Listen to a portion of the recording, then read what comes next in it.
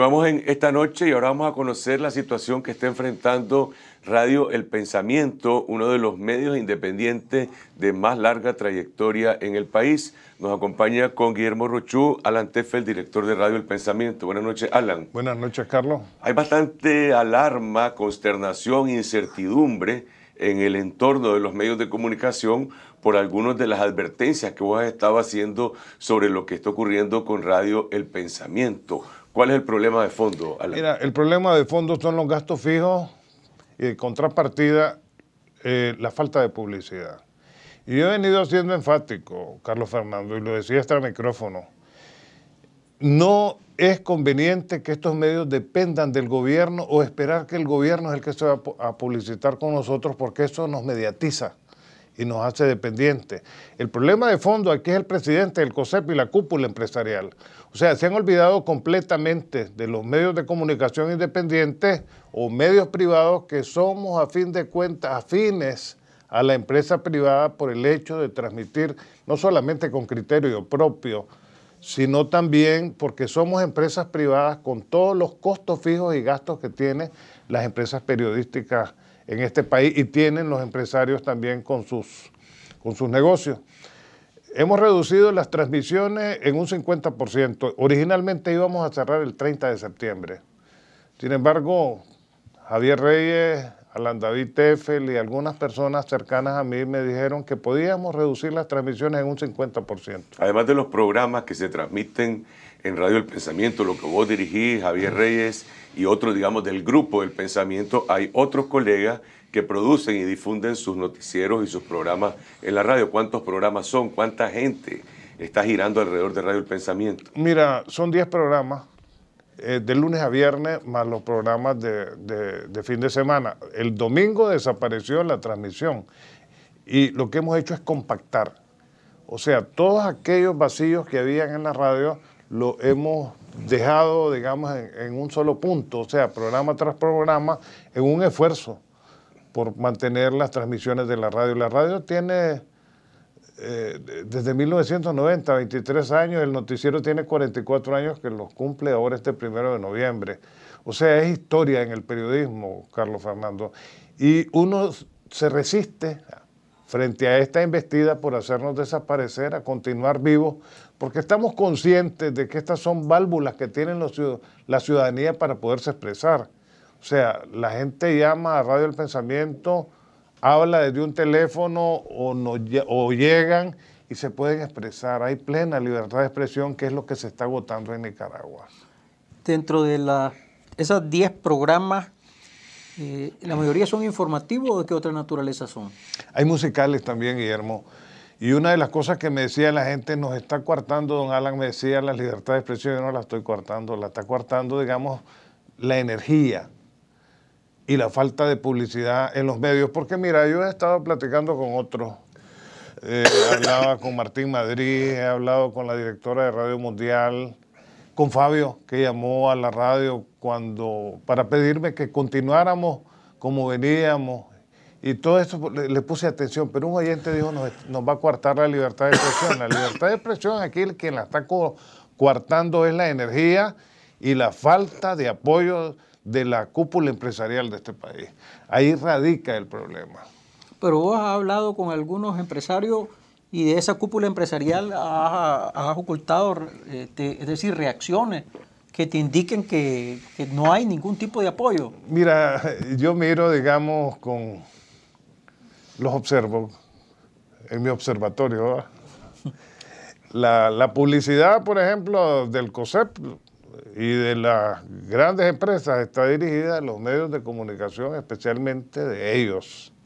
Hay pero muy poco para nosotros. El COSEP como gremio no es un gran anunciante. No, pero orienta. El COSEP publica algunos comunicados, vamos, orienta. El COSEP le dice a, por decir, por decir algo, a Flor de Caña, a Toyota, a Claro, a la Curazao, al Gallo, a los grandes anunciantes, anúnciense aquí o allá. Yo creo que eso depende más de la dinámica de los grandes anunciantes.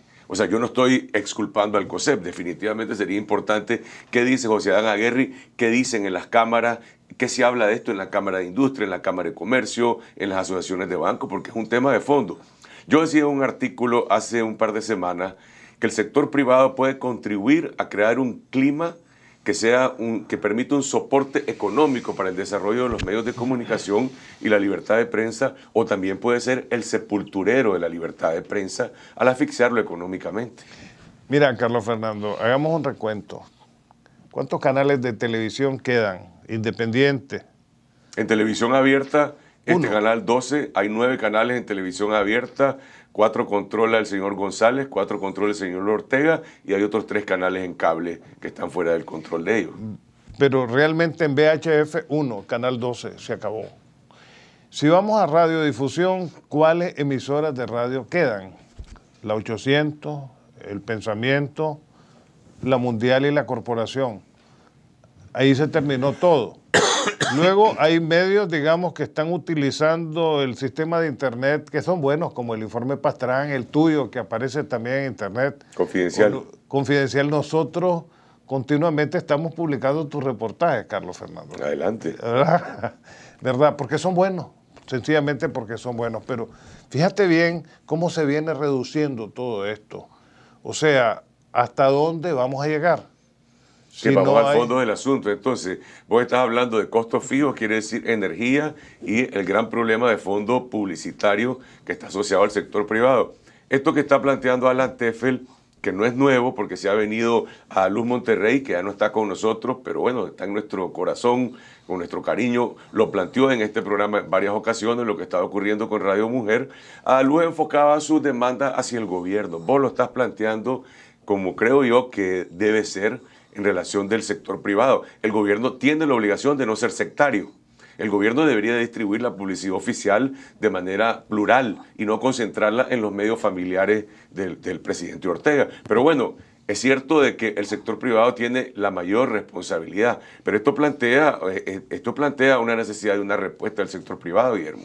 Mira, el, problema de fondo es que eh, el sector empresarial no ha tomado muy en serio esto. Es decir, yo sigo creyendo que tiene una visión equivocada de lo que es el funcionamiento de la libertad de expresión, porque siguen con algunos criterios del pasado para evaluar y ellos creen que la existencia de una universidad de medios, eso garantiza el pluralismo en los medios de comunicación, no es verdad. Fíjate que eh, voy a ponerte un ejemplo para, para ratificar lo que digo. En el trabajo de monitoreo que realizamos esta semana, una de las constantes de los medios que están afines al gobierno y bajo su dirección y el restante de medios que eh, más o menos siguen sus directrices en relación al seguro social es un solo discurso. Yo creo que las un monólogo. Exactamente, entonces yo creo que lo que decía Alan, las cúpulas empresariales deberían de ver qué es lo que está ocurriendo. Porque yo me sorprendí. Y los más sorprendidos deberían ser ellos, porque fíjate bien, eh, se invisibilizan ahora una determinada cantidad de problemas, no se le da cabida a otras voces. Entonces, lo cierto es que en Nicaragua hay un problema serio y lo que vos decís, o van a ser los sepultureros o van a apoyar decididamente a los medios que de una u otra manera fíjate bien, no es que hagan oposición, sino que hacen contrapeso, porque en un, en un discurso, ¿verdad?, monótono y, donde no hay policromía, sino que es monocromático todo lo que está presentando la televisión, hombre, yo creo que debería de llamar la atención de los empresarios, pero también debería llamar la atención de la ciudadanía. Yo creo que la ciudadanía tendría que empoderarse más, darse cuenta que la libertad de expresión es de los ciudadanos, pero vos ves que están también un poco atrás. Entonces, yo estoy también un poco eh, diciendo de Alan en el sentido de que el gobierno no debe o no, el gobierno está obligado a dar publicidad. No es, que, no es ni como dádiva ni como castigo, como, como, como dicen todos los...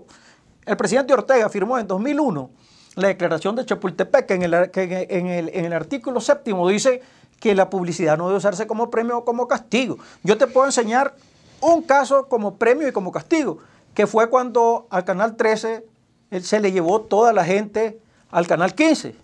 El, el director de este, programa, de, este canal y propietario protestó, le quitaron todito los anuncios. Después hubo un arreglo, el muchacho se dio, ahora volvieron los anuncios. Entonces yo creo que la situación es más crítica de lo que todos creemos. ¿Qué propones hacer, Alan? Mira, eh, yo coincido un poco con, con Rochu. O sea, el gobierno también tiene, tiene opción de anunciarse con, con nosotros. Pero aquí se ha perdido la perspectiva y lo señalaba él. En Miami, por ejemplo, se han hecho colectas para ayudar a pagar a Radio del Pensamiento la luz y sus costos fijos. Pero la situación de los nicaragüenses que están en Miami no es una situación en que están tirando la plata para arriba. A través de Fidias López se nos ha mandado, digamos, dinero que lo hemos empleado en mantener la, la emisora. Eh, han habido muestras de solidaridad, incluso el alcalde de Miami, Tomás Regalado, acaba de hablar en Radio El Pensamiento sobre el asunto y expresando su preocupación e instando a las empresas que tienen su, sus oficinas principales en Miami que apoyen a los medios aquí. ¿Has contemplado convocar al presidente de AmCham, al presidente del COSEP, de la Cámara de Comercio, de la Cámara de Industria, estoy mencionando cuatro instancias, a un debate contigo en Radio El Pensamiento y hablar de esto abiertamente, públicamente? Sí, sí, está, se ha contemplado y se les ha hecho hablar también a todos ellos. El, el, asunto es, digamos, lo que decía Guillermo también, hay falta de conciencia de lo que aquí está ocurriendo. Hay más conciencia allá afuera, tienen necesidad de medios de comunicación que los pueda orientar, porque si no nos vamos a más de lo mismo. Y todos son repetitivos, todos vienen a decir la misma historia. Nosotros, gente como vos, gente como Guillermo, gente como Javier, etcétera, nos salimos de ese esquema y, y buscamos la verdad. O sea, sin necesidad de que se nos baje orientaciones o se nos diga esto es lo que van a decir. Ahora sí, exactamente, yo pienso que el gobierno debe, debe diversificar su publicidad, ¿verdad?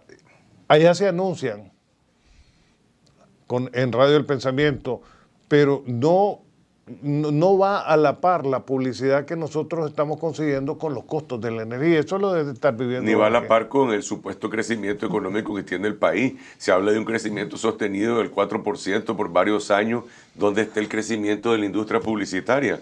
Es decir, la industria publicitaria ha crecido, pero cada vez está más concentrada. Y está más concentrada en algunos medios, en algunos canales de televisión y en algunas radioemisoras. Los oficiales los oficiales. O sea, hay un interés de quedar bien. Hay un interés de quedar bien. ¿Verdad? Y entonces, en ese interés de quedar bien, por un lado, tenemos la publicidad del Estado que la pagamos todos con nuestros impuestos, y por otro lado, la publicidad empresarial de los monopolios y oligopolios que se están dando en Nicaragua, los holdings empresariales, en donde toda la publicidad o la mayor parte de su publicidad va a los medios oficiales porque están quedando bien. Una pregunta que a mí me parece pertinente, Alan, fíjate que hace como unos 3, 4 programas nosotros invitamos a quienes están conformando la nueva asociación de radiodifusión, ARDEN se llama, Asociación de Radiodifusión de, de, de, este, de, de Nicaragua. Eh, ¿Cómo se llama Gadea? Eh, eh, uno es Gadea y el otro es eh, el director de la Radio Darío en León, Aníbal Toruño. ¿Vos no crees que esa instancia podría servir también como catalizadora para buscar alternativas? Claro, yo pienso que sí, pero tienen que ampliarse más.